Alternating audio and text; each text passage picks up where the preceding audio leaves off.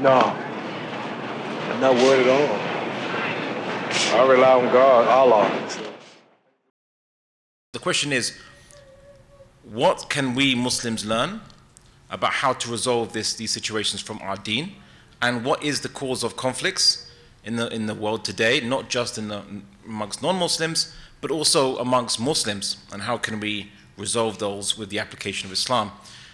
But I'm not only going to talk about international and political situations, I'm also going to talk about the situations that Muslims find themselves in, in the West, where we are surrounded in, in, in an environment which is ideologically um, contrary to some of the values that we believe in. When I mean ideologically contrary, is in that we are being taught and told in our schools and in colleges and universities, on media, um, certain values that we have to uphold um, as a prerequisite, sometimes for seeking our rights, or they, they tell Muslims that if you want to seek your civil rights as a Muslim, you have to come with these, uh, with the uh, particular wordings and values and ideas that we, we, we, teach you. We have to use our currency to get, to cash in for your rights.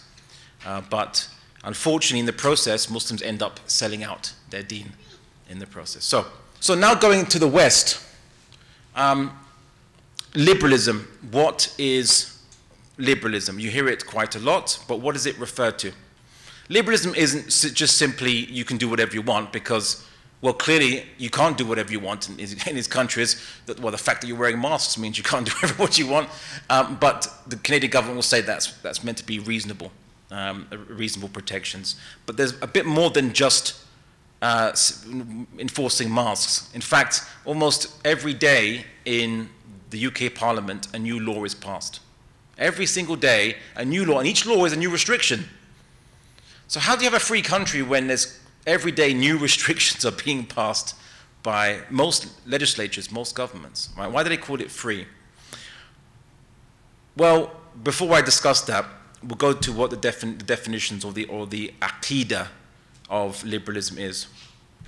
So I just gave you two quotations from John Locke. I'm not going to read them out to you, uh, but simply, uh, John Locke argued that he believed that in a state of nature, before government, all human beings were individuals, free individuals, just roaming around the wilderness, doing whatever they wanted as individuals, which is historically not true, because we know from all the archaeological evidence we can ever find um, and uh, of, of, early uh, kind of human migrating tribes and, and communities that at a very minimum, even in the Neolithic age, a kind of human group might be 30 individuals, not one, not individuals just roaming around by themselves. You need, you need a support network. People get sick, you need support. You need, you know, if, if you're not able to, to uh, you might hurt yourself, you need someone to look after you, uh, and then you can then reciprocate that. Humans form, um, kind of form um, uh, groups of people that can mutually help each other. It's natural, right? Tribe, basic tribal units is natural to be forming. But based on that assumption, they con he concluded that all human beings own themselves. All human beings are sovereign over themselves, which means that an, if nature, in nature you're an individual, this means that uh, the universe intends you to be the, the God of yourself, basically, for want of a better way of looking at it. I call it the Tawheed of liberalism, where, where the only God is the one individual. Every individual is its own God. Right? That's, I call it its Tawheed. And you might think, Abdullah, isn't that a bit extreme? Because no one ever told me that living in a liberal country, per se. Well, they don't say it like this. Uh, well, in some ways they do. They say, you own yourself. Your body is your property, right? It belongs to you. Your body belongs to you. Uh, your life, your choice. Now, we're not saying that humans should be denied choice, but we're simply saying, pointing out that the doctrine that humans are absolute controllers of themselves is the belief that underpins all these things that you see in, um, in the West. Uh, next slide, please, brother. Now, I'm not going to give you loads of quotes. I'm going to give you nice, short bullet points, right, to make it nice and digestible. So, liberalism posits that individual humans are the owners of themselves. This is called individualism. You might think, well, why is that so important?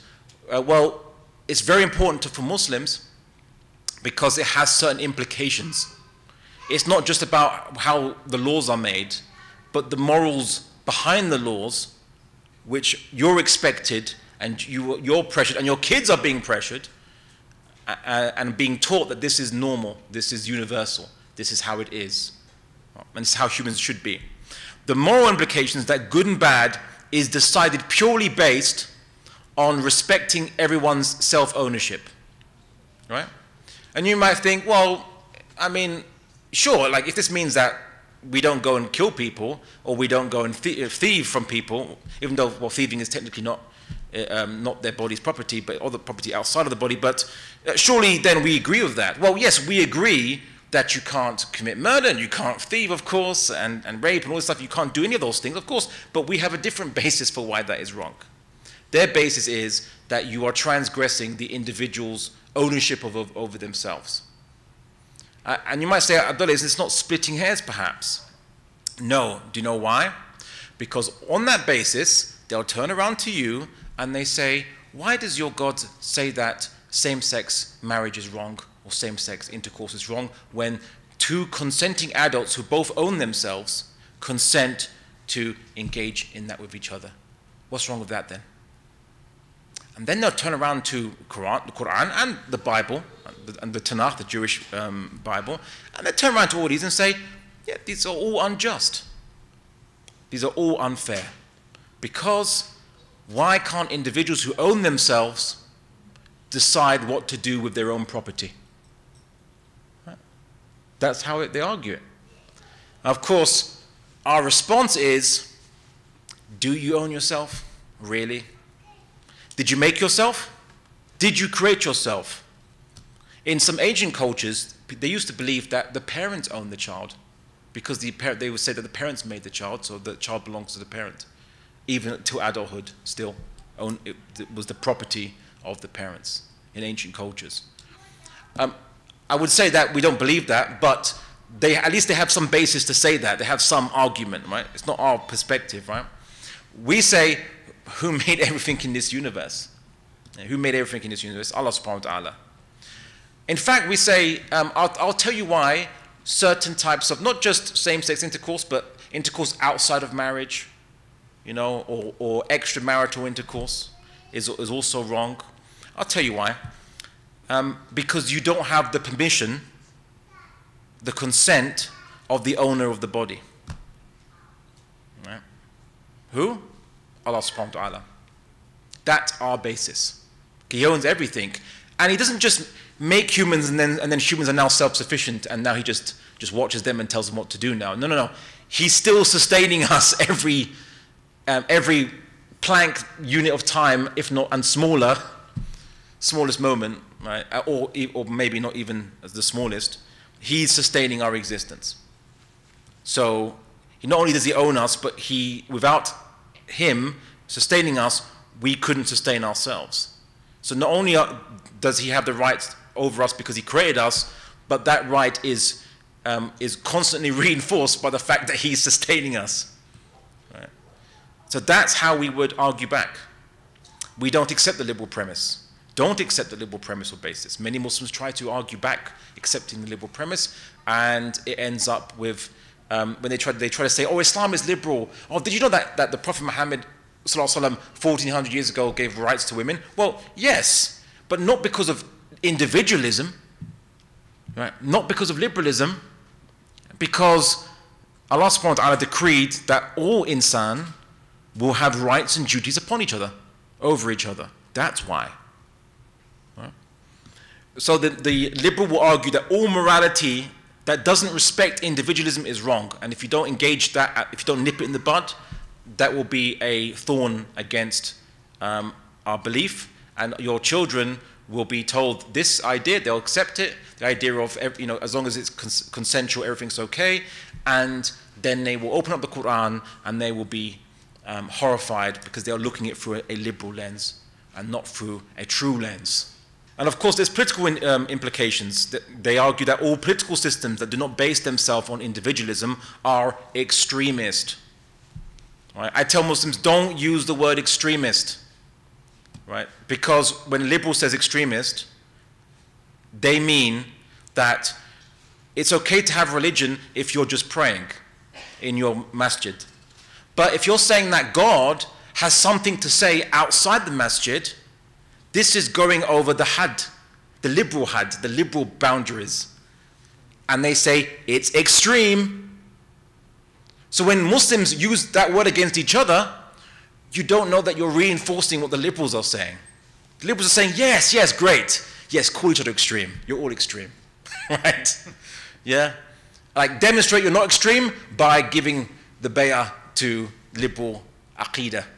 Right? By, by testifying that there's, there's no ilah except the individual. Right? That's, that's their, um, that's their, that's their aqidah, that's their uh, tawheed. Theological implications. You think, okay, Abdullah, liberalism is a political ideology, right? What's, what do you mean by theological implications of um, liberalism? Well, you've heard the term secular liberalism, right? Have you ever wondered why it had the word secular in front of it? Like, why just call it liberalism? Why do you have to add secular liberalism? Well, that's because uh, liberalism, secular liberalism, has a, has, a, has a twin brother called religious liberalism. Religious liberalism is simply applying the same doctrine into theology. So they would argue that a, relig a religious liberal will argue that Jahannam, hell, is unjust unless it's only for those who commit murder and commit rape, because that is haram according to liberalism, so they can understand that. But even then they'll say, oh, but it can't be forever because that's more punishment than, the, than it took to make the crime, according to liberal standards. So they'll say, it's limited, you know, hell will be for a limited time, and it's only for those who commit murder. They'll say only for bad people. What they mean by that is just people who commit murder and rape and, um, you know, killing and so on and so forth. But they'll say, but someone going Jahannam for committing shirk, which is the worst crime from the Islamic perspective, right? They'll say that's unjust. They're an individual. If they're not hurting anybody, why is Allah punishing them? In fact, taking this logic um, to its, its kind of natural conclusion, they'll say that actually, why does Allah subhanahu wa ta'ala even give us commands? Aren't we individuals? Don't you own yourself? So why is he interfering like an interloper? This is how they argue it. They view him as an interloper who's interfering in your lives because, according to them, you own yourself. So if you own yourself, who is someone else to tell you what to do? Right? That's the logic. And then they become atheists. And when you hear people who are ex-Muslim, they use the argument. They say, why is this? They, all the Bilal, they use the word tyrant, they use the word nasty words against Allah subhanahu wa ta'ala out of their ignorance or out of their, their um, insincerity and kufr. And they say that, oh, he's a tyrant over us because why is he telling us what to do? Why does he care what we're doing? So we're not bothering him. Again, liberal um, assumption that in liberalism, you don't bother your neighbor unless your neighbor's bothering you. So they say, if how I want to pray or who I want to pray to, if I don't even want to pray at all, why does that bother the Creator? Why is He going to punch me for that? That is because the Aqidah of liberalism makes them think that way. So if you don't deal with it, it will deal with you. But more, but more likely, it will deal with your kids. And you'll see them escape your grasp like sand coming out your fingers. Because you thought, well, you know, Islam is, uh, is, is, is the haqq, so it, it, should like sell itself. Yeah, well, you know, you go put the Quran on a chair. This is um, uh, Imam Ali's test to the Khawarij. You go put a Quran on the chair and let it rule. You, get, you, you put the Quran on the chair and let the, the Quran give da'wah. No, it needs you to read it to people. In fact, the Quran actually became, uh, uh, started out not as a book, a physical book that was bound together in leather, right? Started out as what was recited. So just because we're upon the haqq doesn't mean that people are going to realize that or notice it. It relies on you to explain that. Now, for those who, who don't know what feminism is, feminism, where, how it started out was simply that in the West, when they, let's say, came up with liberalism, they gave, uh, they gave these, these rights, uh, these protected rights against tyrannical government to, to individuals, but only to, to men, individual men. Ironically spe speaking, many of the Anglo-Saxon liberals, they viewed themselves as empiricists, as scientists. And they, they made the very unscientific assumption that because they weren't educating women, and of course women then weren't being educated and therefore were not um, accomplished, um, you know, middle class uh, composers, playwrights, mathematicians, or what have you, astronomers, oh, then women are of an inferior intellectual status to men, and that's just the natural way, they say, they said, because well, they didn't teach them in the first place, you know, they didn't give them that education in the first place. It became a self-fulfilling prophecy. And they called that scientific observation by saying, well, yes, um, then women must be inferior because uh, clearly they're not achieving the same as men. Well, yeah, you, that's because you're not educating them. So based on that basis, they said, well, then, um, then men have the fullest intellectual faculties, and therefore men should get the full gamut of, of um, liberal rights promised. Feminism was simply the argument that, and women too, hashtag me too, right? Include us too in those rights. Yeah. Now, um, Simone de Beauvoir and others, some people say that they argued uh, that these various feminists argued that that um, men and women share a mind, uh, we have mind, and therefore a mind does not have a gender. But that wasn't invented, that term wasn't invented by a woman, that actually was invented by a guy in uh, the 17th century, Francois Poullain de la Barre. He said the mind has no sex. And he first argued for the absolute equality behind, between men and women, but the absolute identical roles for men and women, because he simply argued that the mind transcends the body. And so the mind is like free from any animalistic um, aspects of the human body that we might share with animals. And so, uh, in, in, this kind of realm where the mind is somehow detached from the body, all minds are equal. Right? That was the argument. That's how, and that's, that's from continental philosophy. I'm not going to get into the difference between Anglo-Saxon philosophy and continental philosophy, but suffice to say, this followed a, a, a continental European tradition, and um, England followed Anglo-Saxon kind of tradition of being more empiricist, even though they made unempirical arguments. But that's a long story, long discussion. Um, so the first wave of, you could say, feminism was um, liberal feminism, that women should have identical rights to men, because in the West, women couldn't own property, and when they were married, their property that they, they came with went to their husbands. They couldn't open up a bank account with their husbands. Their hum husbands controlled all their finances, right, which was rather oppressive. And you know, when they come to us and they say, you know, we have uh, rights for women, we, you know, you should learn from us, and say, wait, wait, wait, wait a second your backward past is, is that's your past. Yeah, don't project it onto us. We didn't have that circumstance and situation with ourselves. Um, but over time, there was some development, developments in, West, in the West, not just um, for women, but also for the working class, because the working class were not given the right to vote. Uh, only those who had property had the right to vote. Um, there's a there was an early the early form of liberalism only gave it to people that had property. Uh, but eventually it got extended out, and of course, then the idea that the government should do more than just protect you from the violence of each other, but the government should give you welfare became the next evolution of liberalism, and it was called social liberalism, because the first form of liberalism led to so much um, suffering and exploitation, workers being exploited. If you get maimed in the factory, you're done. No one's going to employ you. No one's going to give you money, right? Uh, if you can starve to death in London, on the streets of London even though it was a, a bustling town, because if you were poor. No, you know, unless you go to an almshouse, which is uh, uh, usually by, run by the, the, a, a, Christian foundation, giving alms to the poor, you're going to die. No one's going to give you, give you food. The go government don't care about you getting, getting food and what have you, right? So they noticed that this was, you know, like Charles Dickens talked about these kind of things quite a lot, became quite popular, and so they decided to, they needed to um, change the first form of liberalism because it was too much concentration of wealth. If you think, was it 50% or 60% of the, of the um, wealth is owned by 1%, if you think that's bad today, in the 1900s, it was 80% of the wealth was owned by 1%. Back then, it was really crazy. They had to bring, invent antitrust laws. These things are invented they're technically against liberalism. Technically, liberalism actually failed in the 19th century. They, what you're seeing today is the, is the patch 2.0. They just patched it. Right? And there are many people which actually say that it's not actually liberal anymore. But you, you know them as conservatives now. Conservatives are just old liberals. liberals from the, the old version of it, old version of the Matrix.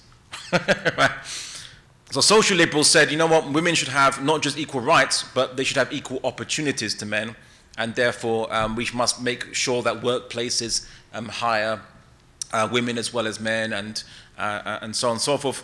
And then you had an, another stream of left-wing thinking, which has always been, it's been like the, I was going to call it the the dark side. You know, like the, the Enlightenment produced the liberalism, and then it, it had a dark side to it. But technically speaking, it's all dark side. So there's dark side and the darker side. which was um, the kind of Marxist and socialist thoughts, which were always at odds with its cousin, liberalism. And many Muslims become socialist, or some Marxists, though not today after the Soviet Union, but they join these movements which are from Marxist origins or, or at least socialist origins because they think the enemy of my enemy is my friend. So when they discover that there are Western scholars also criticizing liberalism, they think, oh, excellent, I'll, I'll just ally with them. Or, you know, the critique of capitalism is popular in the West. But capitalism is just the economic system of liberalism. How is that if liberalism is the hegemonic ideology of the world? Well, that's because there's ikhtilaf in the West. There's different madahib. But the creeds of all these different madahib are all the same. Whether you're a socialist or a, Mar or Marxist, which is a type of socialist, uh, whether you're a liberal, whether you're a, a woke activist or a post-Marxist, they all believe in the same aqidah of the, in, the absolute sovereignty of the individual. They all follow that same aqidah.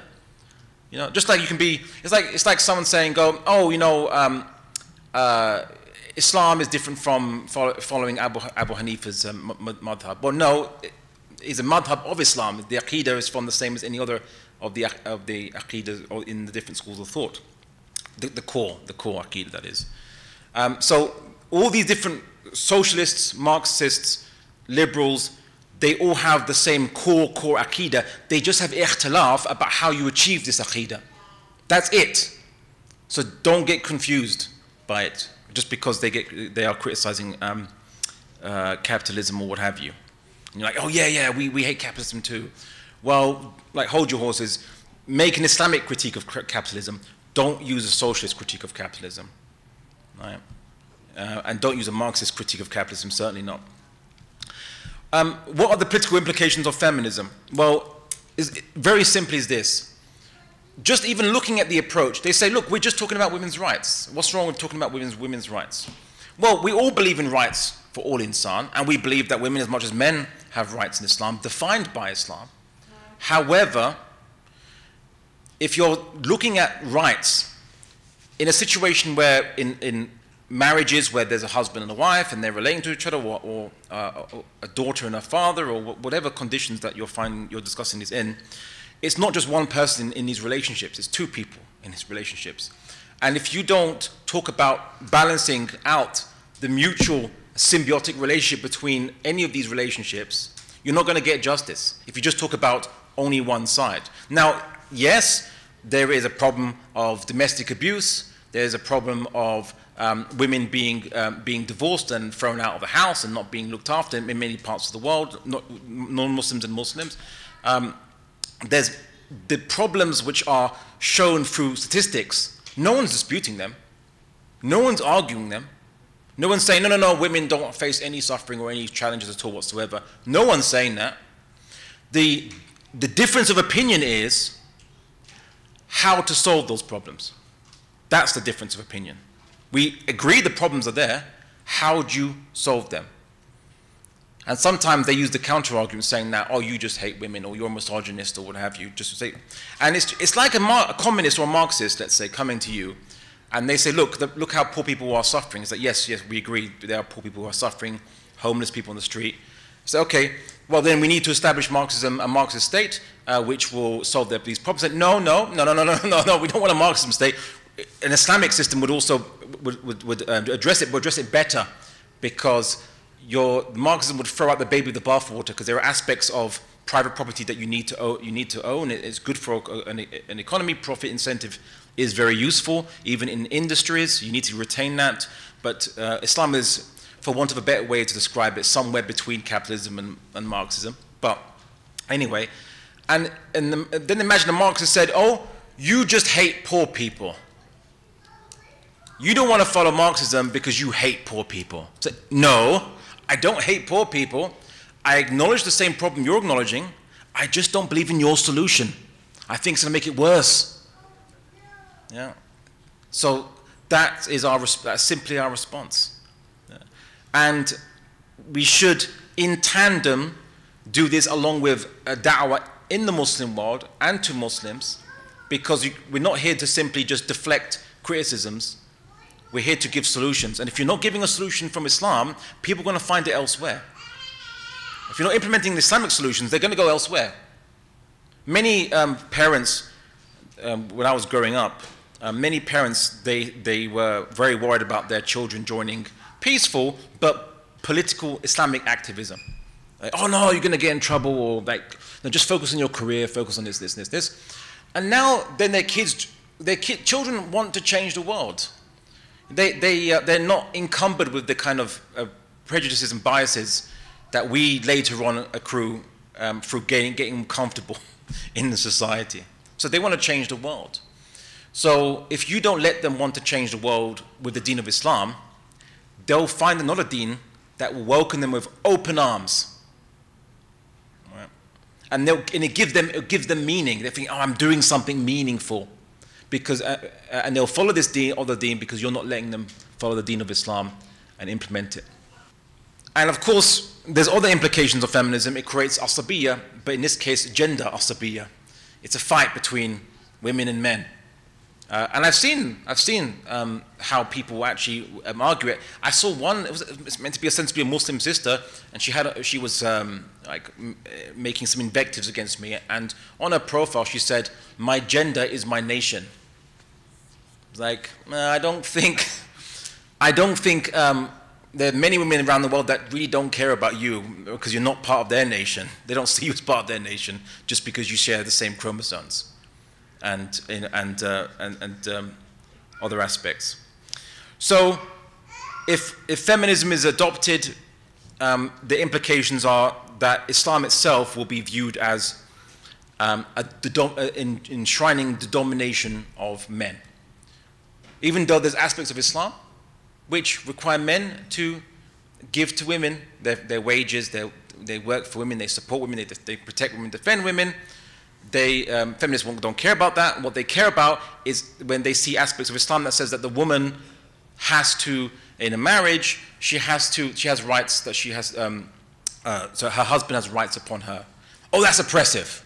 No individual should be beholden to any other individual. You see? That's, it's liberal, it's a liberal basis. It's still a liberal basis. It's always a liberal basis. They view that as oppressive. When in Islam, the simple fact of the matter is that the man has things which the woman, um, he, he has to, he's beholden to the woman over, and the woman has, has rights which the, the, man is beholden to her over. And the, there's no, even though there is, obviously there's choice, but it, it's obligation. There is obligation. They can choose to be not practicing Muslims, I suppose, but Islam obliges it. There's mutual responsibility there. And if you don't have mutual responsibility, then um, you, don't, you don't have anything in a marriage. How are you going to have a marriage then?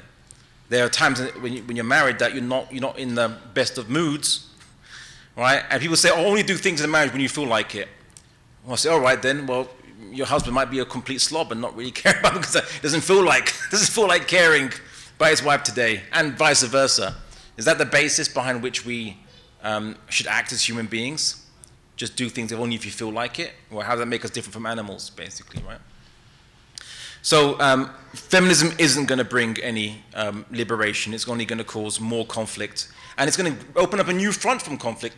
Now it's going to open up a front of gender asabiya and fighting and rancor between the two. And unfortunately, now what I've seen is that as there are some sisters and, and male ally brothers who are um, being feminists and are, and are touting it online and touting it in their, in their universities and wherever social spaces they go to, there's now um, brothers who are joining Western kind of conservative kind of mindset movements and there's a, like a, a, a proxy fight between Muslims in these two different Western madhabs, got nothing to do with Islam, fighting each other on, as, on, on uh, two bases that have nothing to do with Islam, it's, it's really surreal and tragic, actually.